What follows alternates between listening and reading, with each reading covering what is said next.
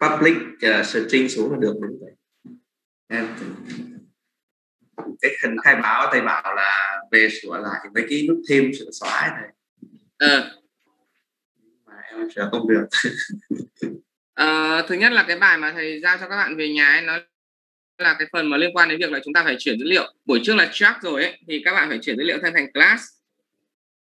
Và muốn quản lý được class đấy thì chúng ta sẽ phải có một cả cả một cái danh sách sinh viên chúng ta có, phải có một cái mà các cái đối tượng, đúng không? Đó, còn cái phần thêm sửa xóa xong đang nhắc đến là phần gì nhỉ? Thầy thầy thầy đang chưa hiểu cái chỗ thêm sửa xóa đó. Thêm sửa xóa mình học ừ, qua rồi.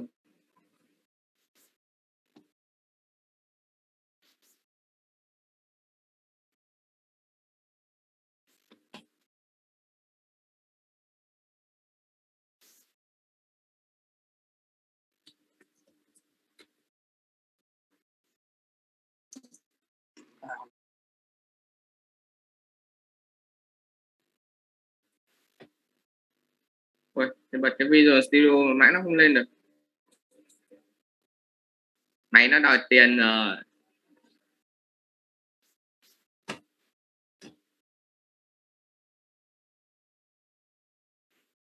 Thầy sẽ hỏi thăm tình hình một vài bạn nhé. Vừa rồi thì thầy đang hỏi đan trường. Tình hình dạo này đan trường thế nào? Thực hành thế nào em? Đan trường đâu rồi? Có mặt đây không? Dạ em có em có à, à, cho thầy xem bài thực hành của em nào xem xem làm uh, danh sách sinh viên về class nó thế nào rồi? Dạ em chưa làm struct ạ.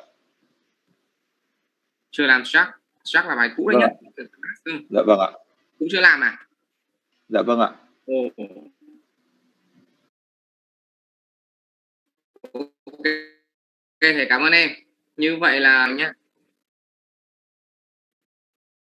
Vừa rồi là Nguyễn Đan Trường đúng không nào? Tiếp theo là bạn uh, Nguyễn Đức Trung thế này Nguyễn Đức Trung có mặt đây không em em có. Ờ Trung ơi tình hình làm bài thực hành thế nào rồi? Nghe hơi mắc mắt thầy ạ. Thế à? Ờ. chưa làm được ạ. Ờ, rất xin lỗi về cái việc uh, mạng này nhưng mà khả năng là không có khắc phục. Thì đang ngồi nhà Hà Nội thì đang giãn cách. Uh, chưa làm được em nhưng mà nó đang dừng lại ở chỗ nào nhớ Trung nhỉ? Đang bị mắc chỗ nào? Em cũng chưa làm phần sờ sắc làm một phần sờ sắc giống giống như bạn trường nhé ờ thế à? Rồi ok cảm ơn Trung. Như vậy là các bạn vẫn đang dừng lại ở chỗ làm các cái luồng dữ liệu của nút thêm sửa xóa thôi chứ chưa chuyển sang track hả? Với cả class hả? Cái đấy là phải triển khai nhá. Lớp trưởng ai nha thì quên mất rồi.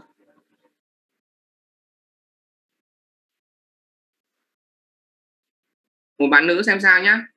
À, thầy nhìn thấy đây có Trần Thị Hương Ly. Ly ơi tình hình làm bài tập của em nào? Có Ly có ở đây không? Dạ có ạ. Ừ tình hình thế nào? Em làm bài thế nào rồi? Có thể chia sẻ cho các bạn xem được không? em đang làm theo cái cốt của thầy đấy chứ em không biết hỏi gì cả. Ừ, em làm đến đoạn nào rồi? À, đợi em mở à, ok ok. Bạn uh, Ly sẽ chia sẻ cái phần uh, cốt mà bạn đang triển khai nhá. Cái phần hôm trước của thầy đem thôi ạ. Cái thầy phần em chỉ có lại thôi ạ. Kệ, thầy cứ xem thế nào. Thầy và các bạn cứ xem thế nào đã vâng thầy mời em thì ừ. ok chúng ta chờ hương ly một chút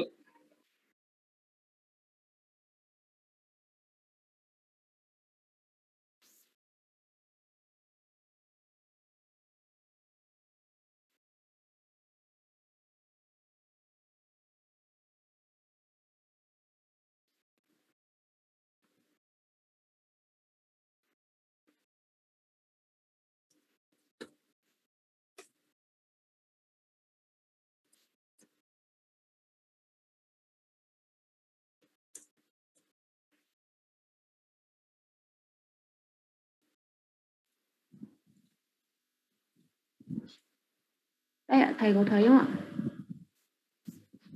Rồi thầy và các bạn đã nhìn thấy bài của em rồi đấy. Em chỉ mới làm lại như thế này thôi ạ. Ờ, ok để thì nhìn nha. Em làm class này rồi này. Kéo lên trên một tí thì nhìn lại class tí struct rồi. Kéo xuống dưới một chút. Class đâu? Class đâu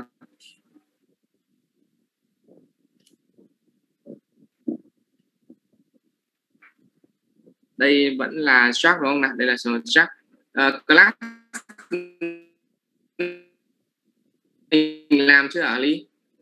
Quản lý hướng đối tượng ấy. chưa, chưa nghe thầy nói chèn thêm một cái ờ cái mạng nhà thầy nó chán thế à?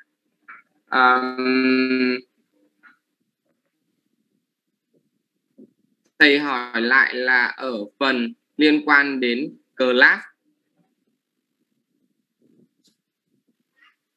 rồi ok thầy cảm ơn ly đã nhé tình hình mạng nhà thầy nó không được tốt lắm nó đang báo là nó đúng là nó đang báo là không ổn định được unstable. Rồi thế thì uh, cả lớp uh, cố gắng là tự thực hành nhé không gì hỏi nhé thầy cứ uh, nhảy tiếp sang cái phần liên quan đến uh, menu và toolbar nhé bài này sẽ ợt bài này ngắn củn thôi một tí ti thôi. Nhưng các bạn sẽ ghi chép cho thầy vài cái thứ liên quan như sau nhé đây thầy sẽ uh, lại tạo ra cái mới này sau đó thì thầy xem màn hình, đúng không? Đi xem lại cho thầy nhé như bạn nhìn thấy là các cái giao diện của các phần mềm ấy, thì bao giờ nó cũng có một hệ thống ở phía trên thanh này. Đây là hệ thống menu như là ngay bản thân Visual Studio mà thầy trò mình đang nhìn thấy nhé nó có một hệ thống menu, đúng không nào? Trên menu này là chứa đầy đủ tất cả các chức năng nhé đầy đủ tất cả chức năng phần mềm nó sẽ bao giờ nó cũng sẽ ở trên cái menu và nó chia nhỏ thành các chức năng khác nhau. Thì bao giờ nó cũng đủ hết tất cả nó đủ đủ hết trên menu này. Xong sau đó thì những cái thành phần những cái thành phần mà mà uh, chúng ta hay lựa chọn hay cứ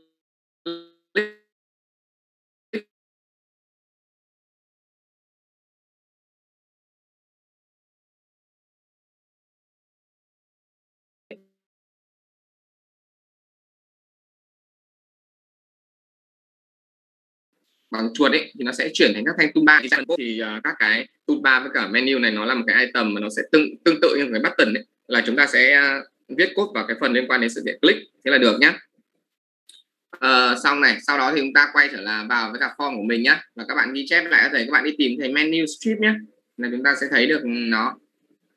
Menu trước này đây ghi lại thầy nhé menu các bạn phải à, khởi tạo cái project của mình đúng là framework .net nhé chữ ASP hoặc cái gì đấy là là là không được đâu. Phải đúng là .net với cả framework bao nhiêu ấy? Bốn chấm mấy. Tùy Visual Studio của các bạn. Đừng để lẫn sang web nhé nó phải là .net nhé menu strip này. Khi thầy bấm vào menu strip ấy, ở cái giao diện 2013 thấy ấy, hơi cũ một tí thì nó sẽ tạo ra một cái menu strip và sau đó thì nó sẽ cho phép mình bắt đầu thiết kế ở trên này à, thầy bỏ qua cái phần liên quan đến thuộc tính nhé bởi vì là cái menu strip nó được tạo ra thì ít khi chúng ta phải cốt cả tên của menu lắm tức là tương tác với từng item lắm. Nếu có thì chúng ta sẽ đặt tên cho nó nhưng mà ít khi. Thế nên là thầy trò mình sẽ đi vào giao diện luôn nhé tập trung vào phần giao diện là chính. Ở đây thì nó sẽ có là một số cái chức năng để nó có thể đặt cái menu ở các vị trí khác nhau. Thì các bạn cũng uh, thử xem xem sao. Và chỉnh sửa uh, item sao cho nó phù hợp nhé ở phần này có phần exit item nó sẽ giúp mình là đi sâu vào từng cái menu con một nhé và thuộc tính của từng menu con một. Nó giống như cái data view mà chúng ta exit column ấy. Chúng ta đi sâu vào từng cái column một. Thì ở đây cũng thế nhé nó sẽ sâu vào từng cái item. Tuy nhiên là nếu như mà chỉ để tương tác trên giao diện thôi thì chúng ta hoàn toàn có thể gõ trực tiếp vào tab here ở đây nhé để bắt đầu tạo dựng các menu. Khi mà chúng ta tạo dựng menu thì chúng ta sẽ bắt đầu bằng tên của menu đó đây là cái phần nội dung nhé đây là phần nội dung nó hiển thị lên. Còn à, tên menu cũng sẽ lấy tự động lấy theo cái tên này.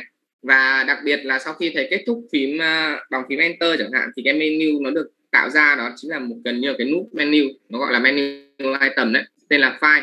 À, đồng thời là cho phép chúng ta tạo các menu cùng cấp cũng như là cấp nhỏ hơn nhé để enter một cái này thì các bạn sẽ nhìn thấy là chúng ta có hai lựa chọn. Một là chúng ta sẽ lựa chọn là uh, menu cấp con đúng không? Menu type ở here ở phía dưới này là cấp con hoặc là chúng ta tiếp tục tạo menu cung cấp thì nó đều có khi mà chúng ta click vào một cái menu item. Mỗi một cái này là một cái menu item nhé. Thì chúng ta sẽ có thể tạo được cứ tương tự như vậy chúng ta sẽ rẽ nhánh ra thành một cái cây đúng không? Và chúng ta tạo thành một cây menu. Ở đây thầy hoàn toàn có thể tạo tiếp được nhá. Exit này à, new nữa à, cái gì nữa nhỉ? À, open chẳng hạn đúng không? Rồi. Lưu là save đúng không? Xem này ghi lại thầy tiếp này. Đấy cứ như vậy nhé là các bạn tạo được menu cung cấp và tạo được menu cấp con. Bây giờ đến cái dấu gạch ngang nhá. Đây cái dấu gạch nó như này, này. kiểu gì cũng có đây này cái dấu gạch này này. Dấu gạch ngang này nhá thì các bạn làm rất là đơn giản ghi vở thầy đó là chúng ta dùng dấu trừ nhá. Một cái menu mà có nội dung là dấu trừ ấy thì nó sẽ tự động hiểu là một cái dấu gạch ngang. Ferret đúng không? tự động tạo hiểu một dấu gạch ngang. Và khi kết thúc xong ấy thì nó sẽ tạo ra thành một cái dấu gạch ngang ở đó và tiếp tục tạo các menu con nhé. Đấy.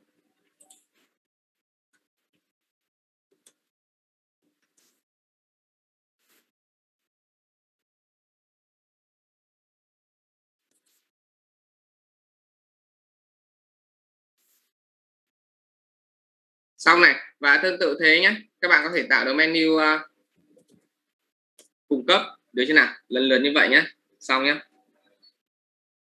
tiếp này. Vấn đề thứ hai liên quan đến cái menu này nhé đó chính là cái vấn đề liên quan đến phím tắt. Thầy hướng dẫn các bạn về phím tắt. Phím tắt ở trong cái uh, giao diện của Windows ấy, thì nó sẽ chia ra làm hai loại. Một là phím tắt ở trên menu và hai là phím tắt trên bàn phím nhé phím tắt trên menu thì nó như thế nào? Phím tắt trên menu các bạn cũng đã từng gặp rồi đấy.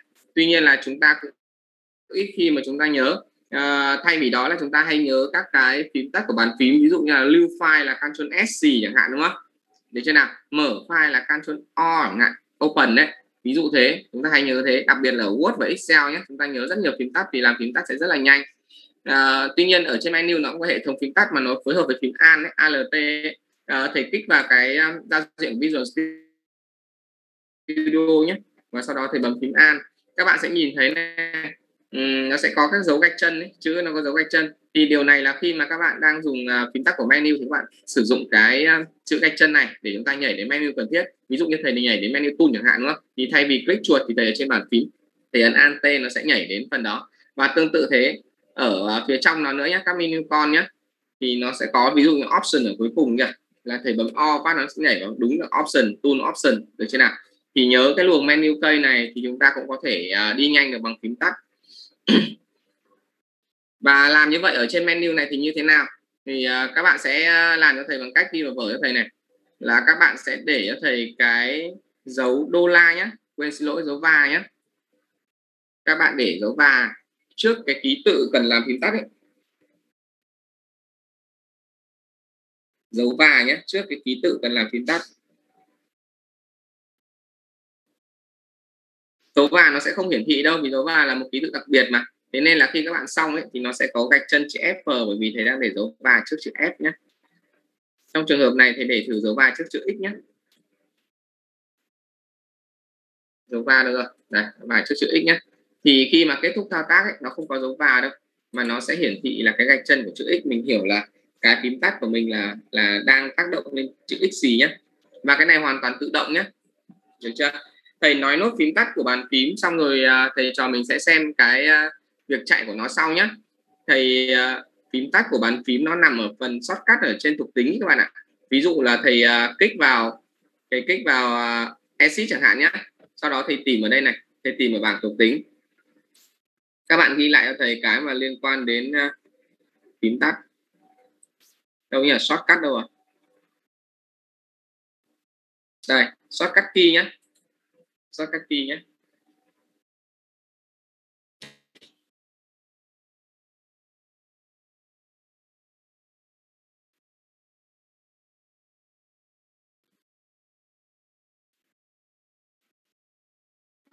Nhiệm vụ các bạn là sẽ chọn thôi, đúng không? Đây, thầy chọn này, can, chôn, quy chẳng hạn, nhỉ? Quy đâu? Đây, can, chôn chẳng hạn quit đúng không? Đấy. và để chức năng là sâu sót các key lên nhé show shortcut key lên thì các bạn sẽ nhìn thấy là nó sẽ hiển thị ngay shortcut ở trên à, thanh menu. Và nhờ có vậy thì chúng ta biết được phím tắt của nó và chúng ta bấm. À, chúng ta chỉ cần đặt vào thuộc tính thôi nhé chứ không cần viết code bất kỳ cái gì cả. Thì khi đó chúng ta sẽ đến được cái thuộc tính của nó. À, trước khi nhảy vào phần chạy thử ấy, thì uh, thầy nhắc lại một lần nữa là cái menu item này, này nó cũng có nhiều thuộc tính lắm nó có nhiều thuộc tính và sự kiện lắm. Đây này nó cũng có rất là nhiều sự kiện. Nhưng mà nói chung là chúng ta cũng sẽ sử dụng sự kiện click thôi nó giống như một cái button đấy và các bạn có thể thực hiện được nó. Ví dụ như là thầy click nút vào nút exit chẳng hạn nhé. Menu item exit thì nó cũng bay đến sự kiện click. Được chưa? Và các bạn viết code cho thầy ở trong này nhé.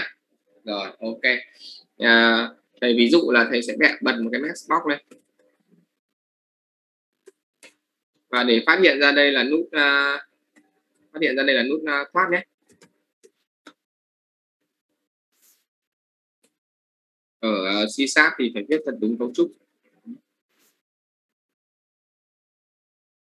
Không có gì đâu bật ra một cái mess box thôi mà. Và bây giờ thầy chạy thử cho cả lớp xem nhé chạy thử giao diện thì phải bật cái phần này lên screen lên. Thầy chạy này.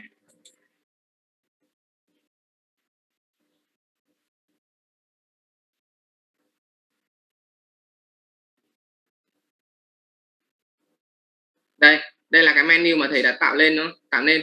À, các bạn nhìn thấy nó cũng tương tự như các menu mà chúng ta đã được xem ở các cái phần mềm khác thôi được chưa? Nhưng mà nó khá là thô sơ. Các bạn thấy Word chẳng hạn nhé là cái menu của nó đã nâng cấp lên nhiều rồi từ 2007 đúng không? Đã nâng cấp lên rồi. Cái đấy tí nữa chúng ta sẽ xem.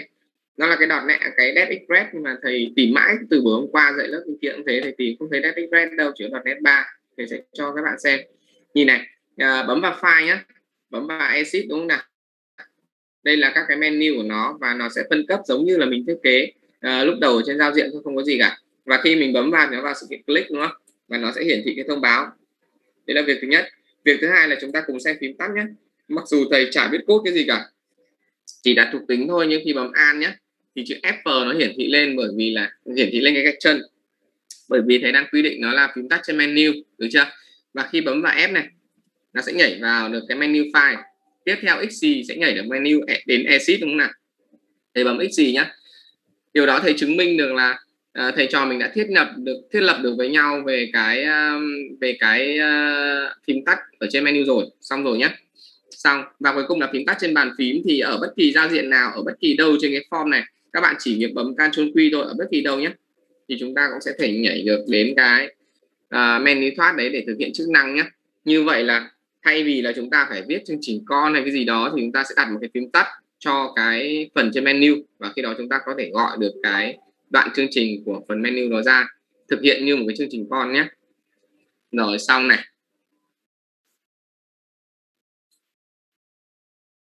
Ok, tạm thế một tí đã. Các bạn nghịch cho thầy về cái menu này nhé vừa nghỉ giải lao, vừa nghịch cho thầy về cái menu này một chút, khoảng độ 10 phút thôi.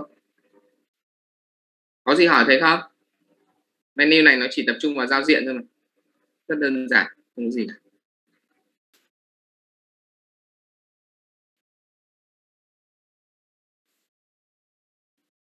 được ok.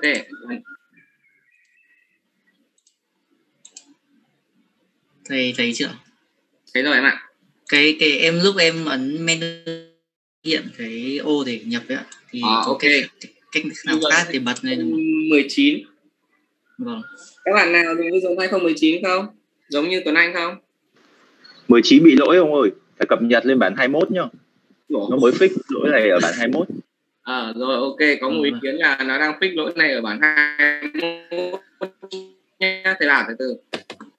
Thứ nhất là lúc tạo ra thì để lúc tạo ờ, project ấy, thì em tạo lại project em để ý thầy à, đúng là Windows Form rồi C Sharp rồi.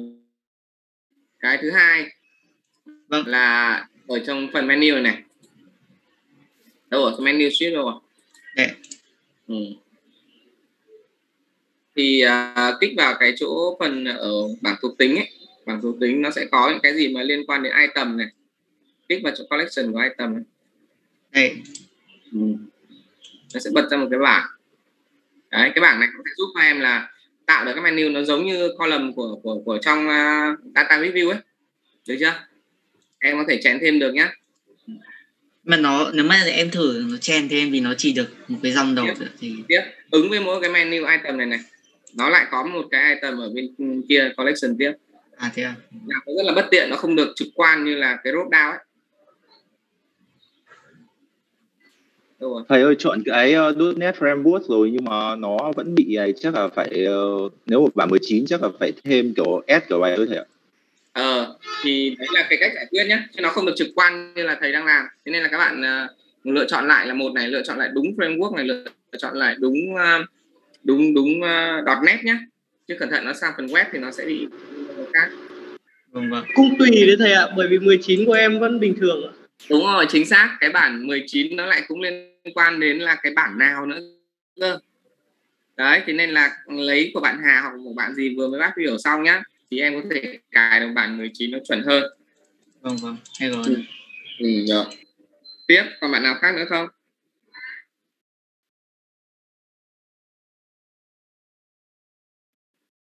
Ok nếu không có gì cả thầy lại nói tiếp nốt một tí thì tí nữa thôi nhá phần toolbar nữa thôi. Đợi thầy tí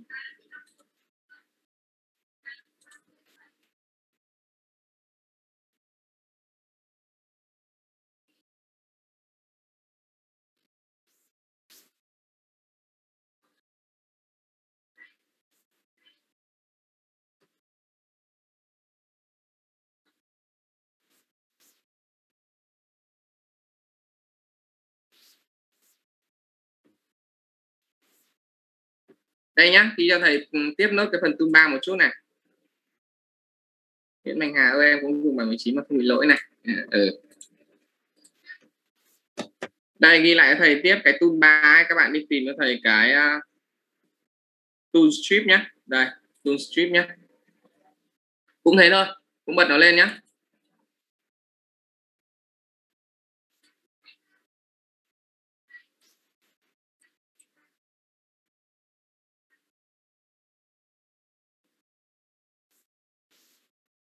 và lúc này các bạn sẽ nhìn thấy nó nhé đầu tiên là cũng nghịch cho thầy những cái ờ, thuộc tính này, rồi nghịch cho thầy cái mũi tên này này, xem nó đặt biết thế nào này.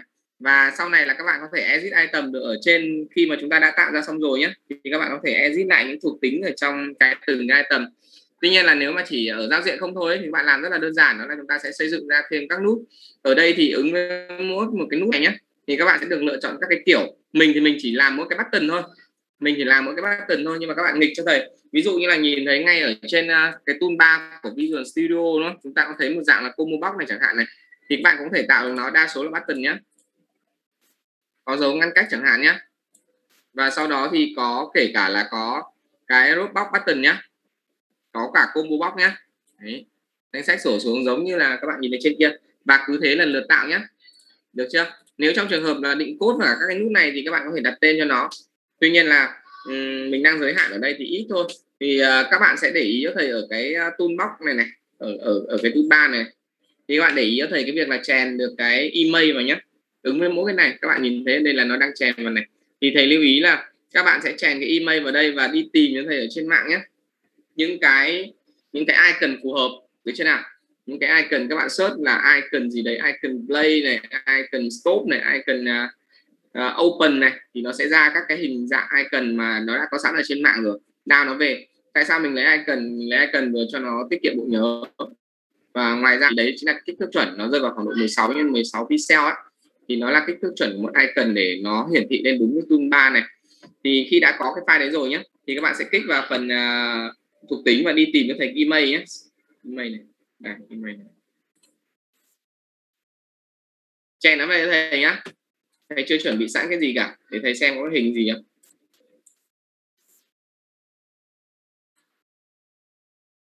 đây là cái hình không không phải icon nhé xem nó có co giãn gì vào không? Đó. Nó đang co lại đấy đang co lại. Thì nó cũng sẽ thể thành một cái hình ở trên này nhé các bạn tìm đúng cho thầy hình ấy, thì nó vừa kích thước, nó vừa phù hợp. Và nó hiển thị và mình nhìn thấy đây là nút gì, đúng không? Ví dụ như hình cái đĩa ở đây chứ thu lại này chỉ thấy màu màu không nhìn thấy hình. Làm tương tự như vậy nhé còn về phần à, sự kiện thì một cái nút ở trên trên giống như một nút button bình thường và chúng ta sẽ chỉ can thiệp vào sự kiện click thôi nhé và khi đó các bạn nháy đúp vào nó thì chúng ta sẽ vào được sự kiện click nhé vào được sự kiện click và chúng ta sẽ viết code trong này nhé sau khi đã nắm được về à, toolbar nắm được về toolbar và menu rồi ấy, thì các bạn sẽ quay trở lại cái bài mà liên quan đến uh, liên quan đến cái bài quản lý danh sách sinh viên. Đợi thầy chút thì mở lại nói nhé. Và bây giờ chúng ta làm cụ thể cho thầy vào đây nhé.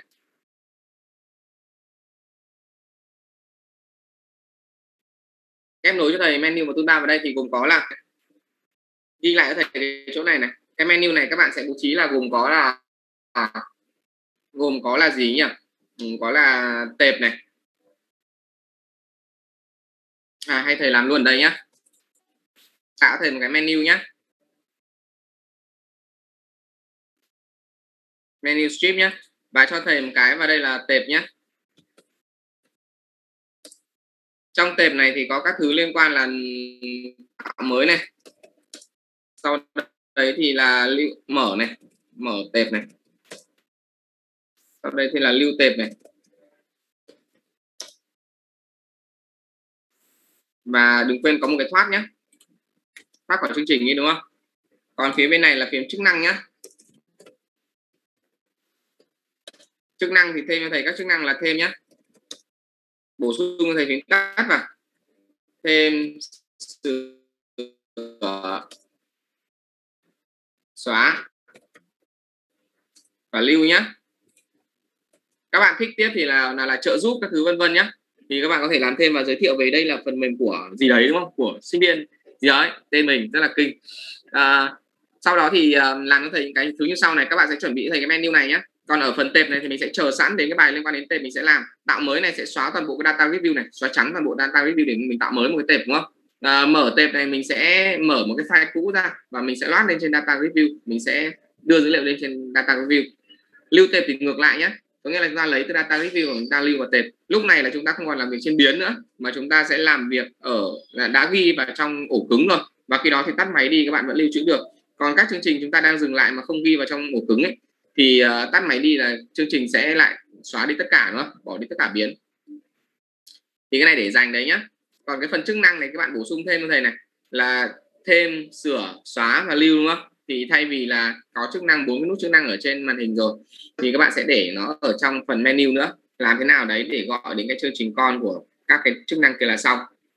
Dễ nhá. Sau đó toolbar các bạn cũng làm thầy nhé các bạn cũng bổ sung thầy một cái toolbar vào đây nhé tool strip bổ sung thầy một cái toolbar vào đây. Ồ cái giao diện này hơi bất lợi một tí vì là nó đang không chứa được cái phần toolbar rồi. Thầy uh, điều chỉnh một tí nhé cho toàn bộ cái phần này nó đi xuống dưới một tí đúng không?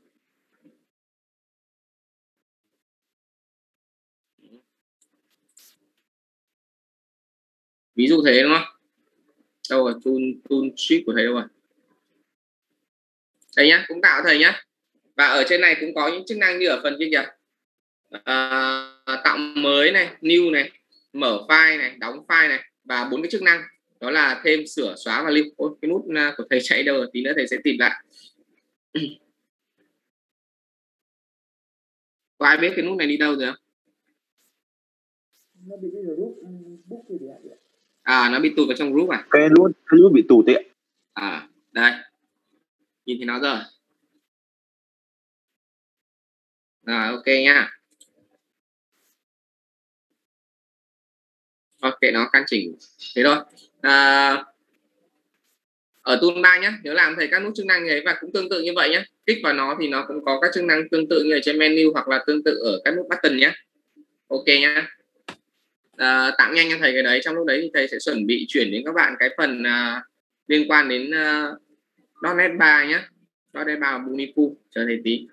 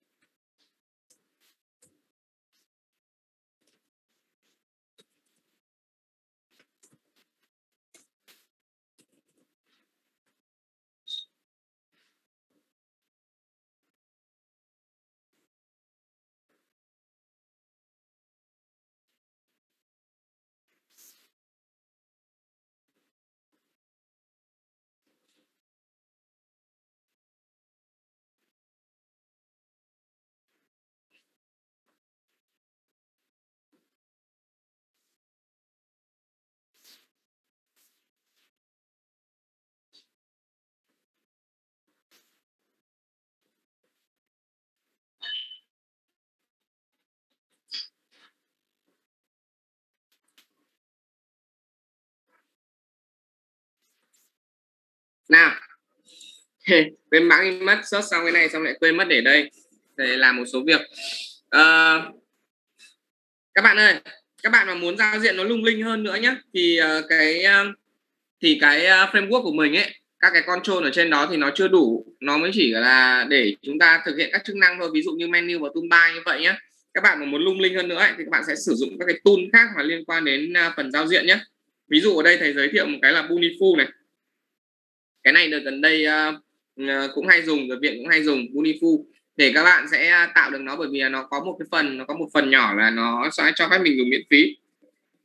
Thì các bạn sẽ muốn tạo cái những cái giao diện mà nó có cái hình thù menu nó thú vị rồi bảng biểu các thứ nó đẹp ấy thì các bạn sẽ sử dụng thêm các cái công cụ này nhé đây là một trong những công cụ mà có thể thấy rằng là giao diện nó đã đẹp lên rất là nhiều rồi. Và ngoài ra những cái mà liên quan đến bảng biểu ờ, data review ấy, thì ờ, thầy giới thiệu với các bạn cái nữa là cái Dev Express nữa. Nhưng mà Dev Express hiện tại thì thầy lại không thấy ở ở bộ cài thầy. Dev Express nhé và cũng UI nhé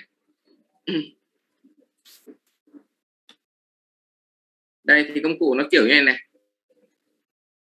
ừ. các bạn sẽ quản lý bảng biểu các thứ nó sẽ nhiều hơn và tất nhiên là lịch nó có nhiều lắm. Đại khái là tất cả control của nó thì uh, các chức năng sử dụng nó cũng linh động hơn rất là nhiều mà giao diện nó cũng đẹp hơn rất là nhiều luôn. Thì uh, lưu ý nghiên cứu cái đấy thầy DevExpress nhé còn thầy đang tìm thấy ở uh, trên máy thầy thì nó có đòn .NET 3 .NET 3 xem ở trên mạng nó như nào.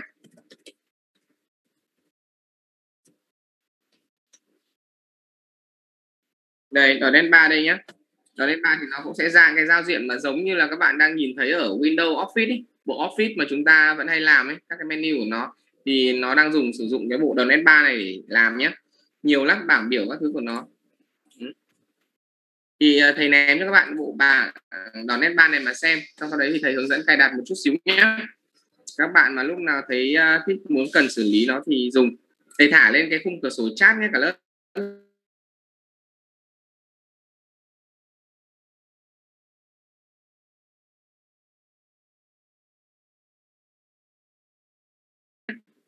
Còn đến ba hả? Rồi đến lớp mình thầy bật mic chưa nhỉ? Thầy bật mic rồi. Alo alo. Ai nghe thấy vâng à, có nghe ạ. Ờ rồi ok tốt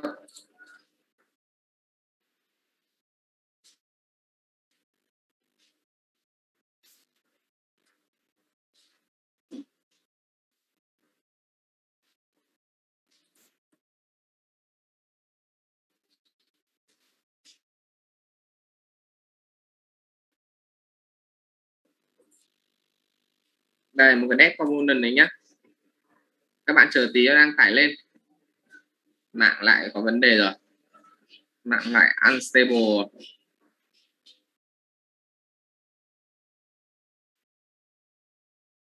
rồi. À, trong lúc tải lên đấy thì các bạn xem với thầy cùng với thầy cái uh, giao diện này cái phần cài đặt. Uh, đơn giản thôi nhé đây. Này các bạn nào nó về và cài ra thì nó sẽ có một bộ .NET 3 như này. Được chưa? Trong đó thì mình sẽ chỉ cài được bản trial thôi. Ngoài ra thì à, bởi vì nó là bản có phí mà thế nên là ở đây thầy đang có một cái thuốc cho nó luôn nhá. Thì các bạn có thể dùng thuốc cho nó nhá. Chứ rồi thầy cài thầy copy thế bị nó bị đè hai lần à? 58 không không đè hai lần đâu.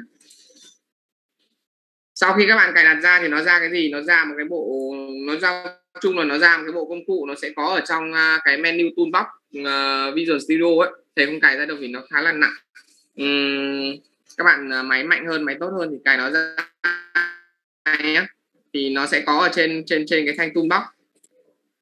Đây nó sẽ nằm ở trên cái thanh toolbox này nhé. Các bạn sẽ nhìn thấy các công cụ uh, bổ sung cho nó. Đấy chính là các phần UI uh, sau đó thì các bạn đi tìm cho thầy ừ. cái này này. Nó cài ra xong ấy có Ơi. trong phần uh, document nhé. Ơi thầy xem màn hình kia thầy à ừ, các bạn. À, các bạn chưa đang nhìn thấy màn hình này của thầy hả? Ok thầy xem lại nhé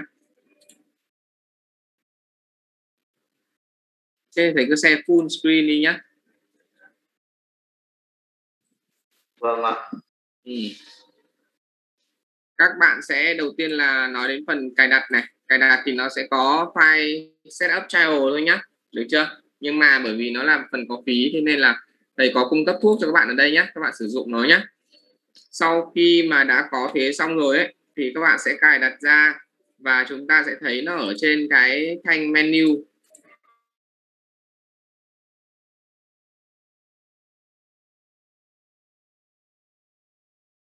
Của thanh menu toolbox của cái công cụ về giao diện rất là đẹp rồi. Nhưng dùng nó thì khi mà các bạn cài đặt ra ấy, thì nó sẽ có trong phần document này này các bạn tìm cho thầy những cái simple nhé những cái simple, những cái ví dụ, đúng không?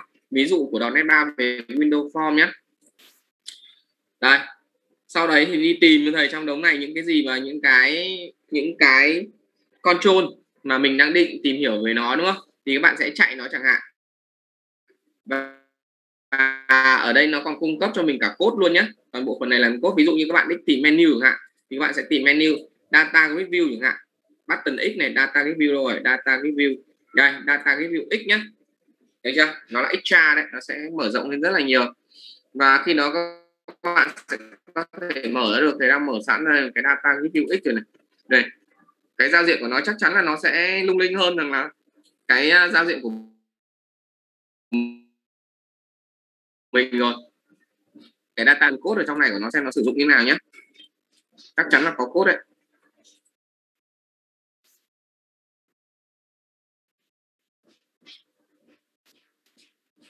Đó, xem từng phần nhá. Xem từng phần của nó nhá. Log order rồi vân vân như thế nào này. Đấy, nó sẽ tương tác lên cái data review như thế nào nhé thì các bạn sẽ xem code ở trong này. Tuy nhiên, cũng không phải là dễ, nó không phải là một phát là làm được ngay. Thì cũng phải mò mẫm thôi. Xem về nó, đây coi đặc biệt là đoán tốt nghiệp thì thì thì các bạn có thể tung nó ra mà dùng cho nó đẹp nhé ok, thầy giới thiệu được cài đặt xong rồi và chỗ để mà chúng ta học tập rồi nhé tự học rồi cho thông qua những cái ví dụ của .NET 3 nhé rồi, bây giờ thì à, các bạn không biết là phần kia nó đã down lên được chưa? Ôi, mới năm tám chờ một chút nhé nó còn một nửa nữa. Còn một nửa nữa.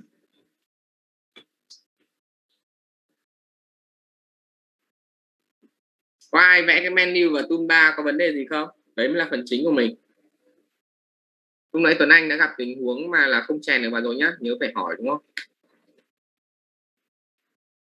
Nhiều bạn khác cũng 19 nhưng lại ngon. Nhỉ dạ. một cái khác nhau nó cũng khá là đa dạng. Thầy tranh thủ đi lấy cái danh sách lớp nhé sao ở đây nó cứ đang báo thầy đang ghi nhỉ? Pause. Stop recording. Ơ, thầy đang record lại mà thầy. Thầy đang record đấy à? Vâng ạ.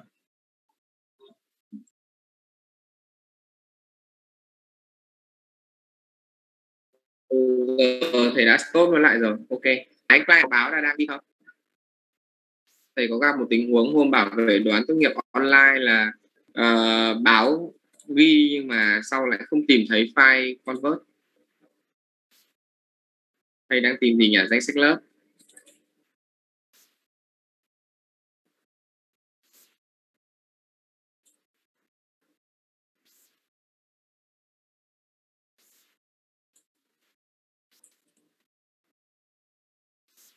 Cường đã động đến giao diện của Bunifu chưa? Dạ, em mới biết sơ qua thôi ạ. Ờ, sơ qua là được rồi, roi vào làm Bunifu. Trịnh có đây không nhỉ? Trịnh có phải ở lớp này không nhỉ? Có À, Trịnh có hả? Vâng Làm về Bunifu chưa? Trịnh. À, ok. Máy của Trịnh nói bé thế Tại webcam của em chắc không có vấn đề. Thế hả? Còn đoàn có ở lớp này không? Đoàn Đoàn lớp bên kia à?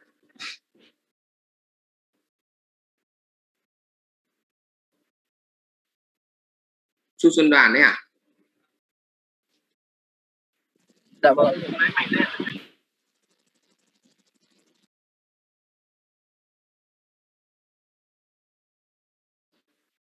Ta đang làm cái gì rồi đoàn đâu rồi Dạ dạ. Em đây ạ. đoàn này đang làm gì rồi em Dạ, em đang tham gia cái dự án lương VTK với lại anh Tuấn Anh. à, tham gia lương hả tham gia lương là làm data review nhiều lắm đấy nhỉ